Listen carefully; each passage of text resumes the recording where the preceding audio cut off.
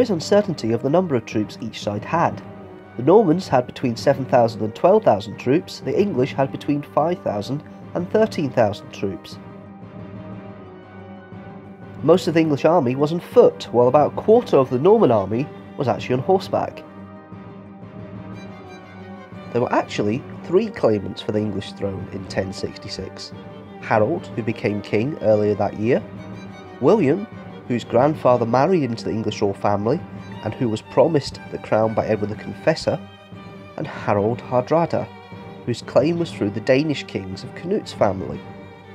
Hardrada also had the support of Harold's estranged and exiled brother Tostig. Hardrada was defeated by Harold less than a month before the Battle of Hastings at the Battle of Stamford Bridge, where both Hardrada and Tostig were killed. The battle lasted all day, from some say about 9am to just before sunset about 6pm. Senlac Hill is the site of the battle about 7 miles north of Hastings. The town of Battle gets its name from the site itself, and an abbey is also at the site in commemoration of the battle. King Harold may not have been killed by an arrow in his eye. It's the famous image in the Bayeux Tapestry, but actually he was more likely to have been killed by being ran down by William's cavalry and basically battered to death.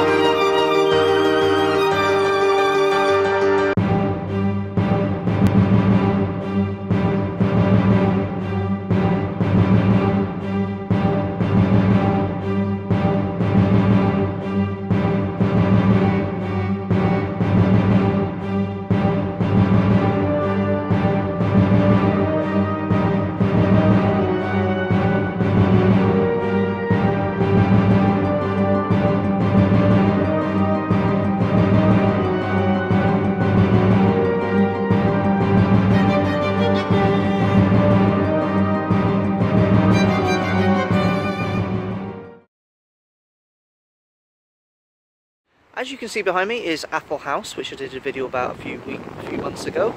Um, as you can see, it's starting to be taken apart, starting to be demolished. The company that owns the site has decided to demolish the building.